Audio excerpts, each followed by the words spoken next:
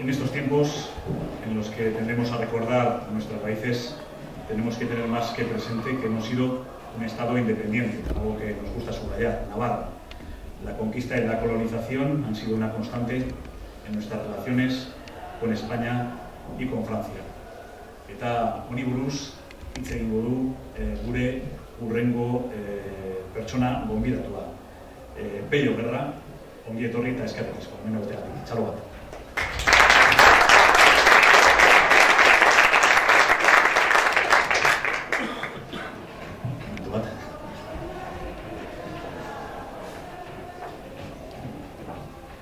Peio Gerra, Iruñarrak kazetarik eta idazlea dugu.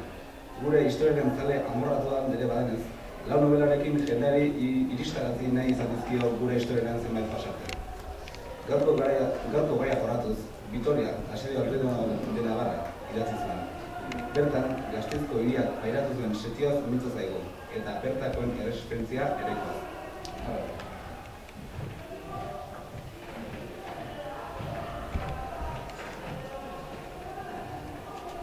Arrachaldeón, buenas tardes. Y bueno, eh, el objetivo de mi charla básicamente va a ser explicar eh, cómo fue el asedio de esta ciudad, de Vitoria, un poco el, el origen de por qué se llegó a esa situación y, y las consecuencias que tuvo. Pues para empezar, eh, os voy a animar a que convirtáis vuestra imaginación en una máquina para viajar en el tiempo y que os situéis en esta misma ciudad pero en junio del año 1199. En los campos que están en los alrededores de, Vitoria, pues eh, la cosecha está empezando a amarillear, ya se está aproximando ese momento que es trascendental para la vida de los vitorianos, ya que a fin de cuentas el sustento del resto del año va a depender de esa cosecha. Pero a pesar de la trascendencia de ese momento, los vitorianos están pensando en otra cosa. Y para descubrir en qué están pensando, nos vamos a subir a las murallas de esta ciudad que tiene forma de almendra y lo que vamos a descubrir es para aterrorizarse, ya que delante de nosotros está eso que tanto preocupa a los vitorianos y que es el ejército de Castilla, uno de los más importantes de la península ibérica. Delante de vuestros ojos aparece una masa humana forrada de metal en la que está presente la infantería, la caballería, están los arqueros, los ballesteros y las máquinas de guerra que se utilizan en un asedio, catapultas, trabuquetes, y por encima de esa masa están los pendones de los principales caballeros de Castilla, las enseñas de las órdenes militares de Santiago y Calatrava, y destacando por encima de todas está el pendón de Castilla, que en esos momentos representa al rey Alfonso VIII. El espectáculo es dantesco, da auténtico miedo, sobre todo siendo conscientes de que tenéis que defender la ciudad desde la que estáis mirando a ese ejército. ¿Y con qué medios disponéis? Pues ahora es el momento de mirar hacia el interior de la ciudad y descubrir que, bueno, la guarnición es más bien escasa, son unos 50 soldados más o menos, dirigidos por el teniente Martín Chitía, y luego varios centenares de artesanos, de agricultores, de ganaderos, en definitiva de civiles, de gente que no está preparada para la guerra. La desproporción de fuerzas es brutal, pero tampoco vais a tener tiempo para pensar mucho en ese tema, porque de repente se oye un entrechocar de piedras y una nube de cascotes os cae por encima y os desconcierta. Es la, es la fuerza de las catapultas castellanas que han empezado a castigar las murallas de Vitoria. Y una piedra pasa por encima de vosotros y se estrella contra una casa y le hace pedazos porque es de, de madera y se empiezan a oír los gritos de los heridos.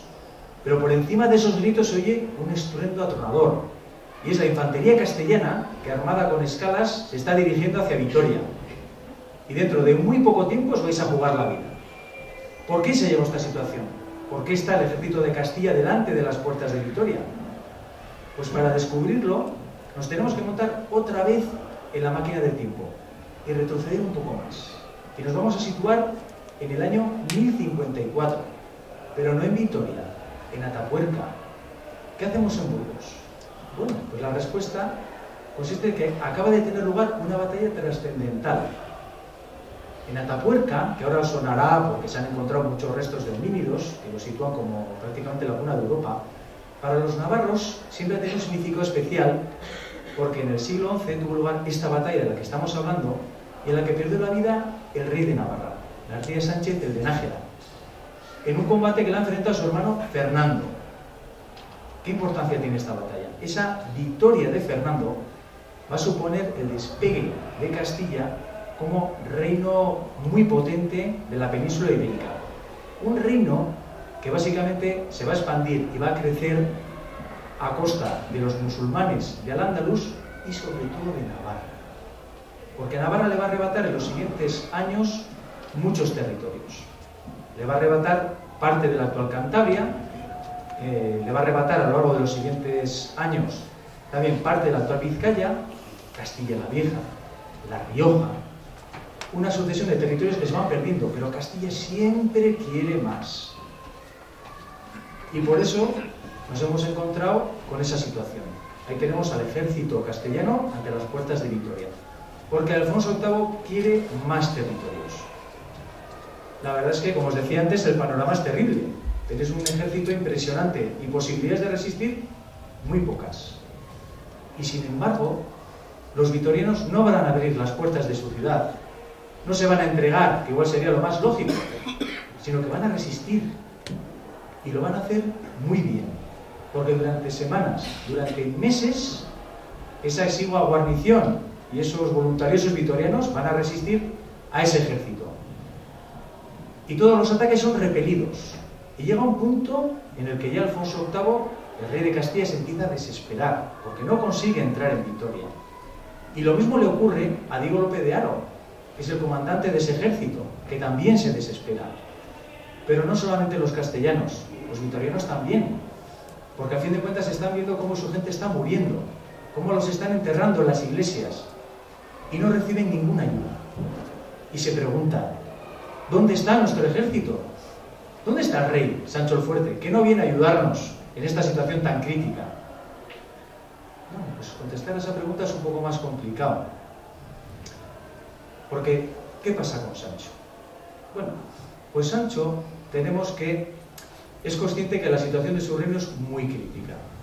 De hecho, como antes os comentaba, Castilla ha ido creciendo a costa de Navarra y en el siglo XII Castilla firmó hasta cinco pactos con Aragón para repartirse el solar navarro. En virtud de ellos, en el año 1198 va a tener lugar una ofensiva que le va a sorprender a Sancho VII en una situación bastante crítica. No dispone de tropas, no dispone de fondos, de tal manera que va a tener que recurrir al obispo de Pamplona, a García Fernández, para conseguir dinero. Y lo tiene tan crudo que tiene que poner como garantía de ese préstamo su palacio de Pamplona. Al final con esos dineros va a conseguir frenar esa ofensiva, pero sabe que es una paz efímera, sobre todo con Castilla, con su primo Alfonso VIII, porque Alfonso no se va a detener. Entonces, ¿qué posibilidades tiene? Él sabe que por sí mismo no puede hacer frente, sabe que necesita ayuda y lo que va a hacer es buscar una aliado. Pero tampoco lo tiene muy sencillo. Una posibilidad sería Aragón, pero como ya os he comentado, Aragón siempre se alinea con Castilla. Otras opciones podrían ser León, Portugal, pero eh, inmiscuirse en una guerra que no va con ellos y con un vecino tan peligroso como Castilla tampoco parece lo más recomendable. Otra opción podría ser los ingleses, que en esos momentos controlan territorios al norte de los Pirineos, Aquitania, y es que además la corona inglesa está emparentada con la Navarra, porque el rey Ricardo Corazón de León está casado con una hermana de Sancho, de Sin embargo, en abril de ese mismo año, en el año 1199, ha fallecido Ricardo. Y le ha heredado el trono su hermano Juan Sin Tierra, que bastante tiene con asentarse en el trono, y lo último que le interesa es embarcarse en aventuras guerreras que tampoco le afectan directamente. De tal manera que al final a Sancho solamente le queda una opción para buscar un aliado, y es el enemigo de su enemigo. Estamos hablando del califa de los almohades, de Al-Nasir, que es el líder de Al-Ándalus. Y entonces Sancho, pues, se decide a entrevistarse con él. Y emprende un viaje, un viaje que no conocemos exactamente, no tenemos todos los detalles de cómo fue, hasta dónde llegó. Una posibilidad es que llegara hasta Sevilla, que era en esos momentos la capital de Al-Ándalus. Otra posibilidad es que llegara a cruzar el estrecho de Gibraltar y que se presentara en Marrakech, en el actual Marruecos, que en aquellos momentos era la capital del Imperio Almohade. Fuera en un sitio o en otro, Sancho se entrevistó con Al-Nasir y lo lógico es que le planteara eso, que necesitaba ayuda. Pero Al-Nasir tampoco nos encuentra en su mejor momento. Una vez más, la suerte le da la espalda a Sancho. Porque Al-Nasir también acaba de subir al trono hace muy poco tiempo. Su padre Yusuf ha muerto en febrero de 1199 y como siempre ocurre en un imperio importante, siempre hay gente que se intenta sacudir ese dominio y tenemos que los Banu Ganilla se han levantado en armas en Ifriquilla, que es el actual Túnez. Así que Al-Nasir también tiene sus propios problemas. Parece ser que Sancho colaboró con él con la idea de intentar aplastar esa rebelión lo antes posible para que Al-Nasir colaborara haciendo frente a Alfonso. Su idea en principio podría ser que Al-Nasir lanzara una ofensiva sobre Castilla desde el sur, desde al de tal manera que Alfonso se olvidara de aventuras militares contra Navarra. Pero el tiempo pasa y esa alianza no se termina de, de producir. ¿Y mientras qué situación tenemos en Vitoria? Bueno, pues los vitorianos están resistiendo. Como decía antes, están resistiendo y lo están haciendo muy bien. Y llega un punto en el que ya Alfonso VIII se da cuenta de que si sigue así, al final va a terminar desangrando toda su infantería delante de las murallas de Vitoria. Y decide cambiar de táctica radicalmente. Lo que va a intentar es rendir la villa por hambre. Lo que va a hacer es rodear Vitoria de una empalizada e impedir que entren alimentos. Y sentarse a esperar, a ver qué ocurre. Y lo cierto es que van pasando los meses, la situación se va complicando cada vez más porque debemos tener en cuenta que habría reservas en la ciudad, pero no habían podido coger la cosecha de la que hemos hablado al principio. Y llega el invierno. Y nos encontramos a las alturas de diciembre que seis meses después de comenzar el asedio, la situación se está volviendo muy crítica. Y esa situación llega a oídos del obispo de Pamplona, ese García Fernández del que hemos hablado antes.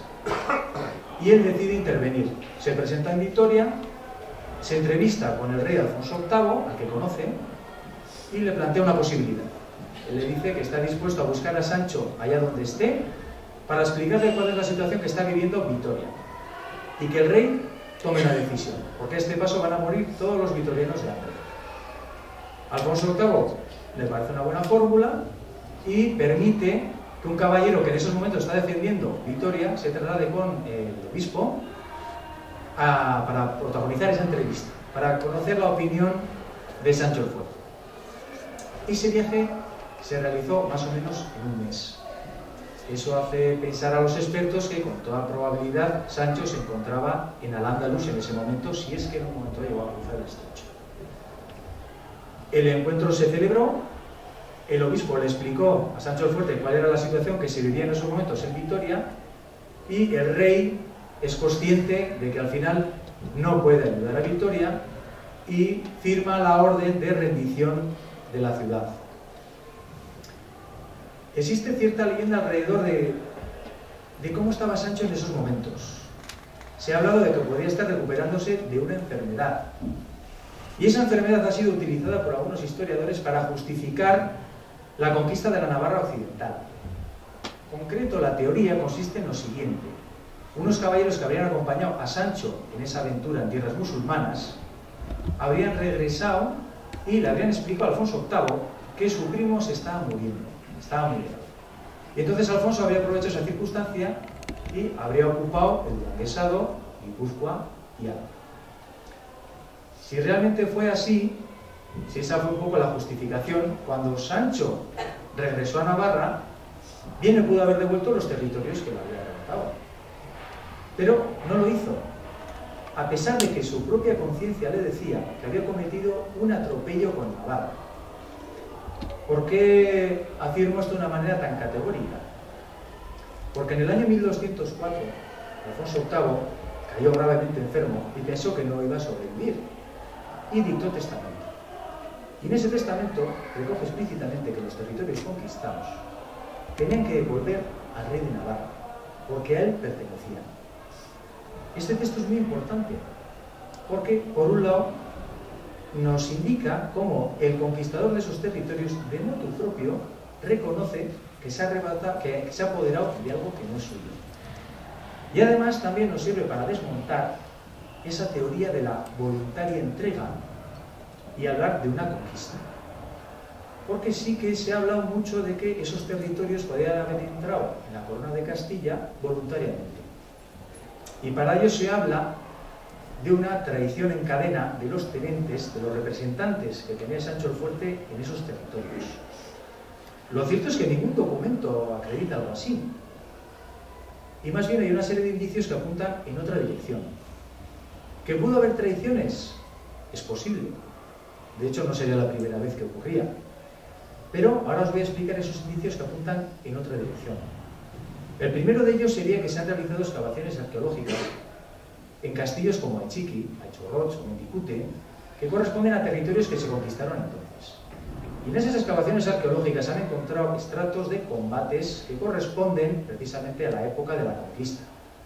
O sea que ya tenemos un primer indicio que viene a aportar que eh, donde fue posible se aprecia que hubo una resistencia.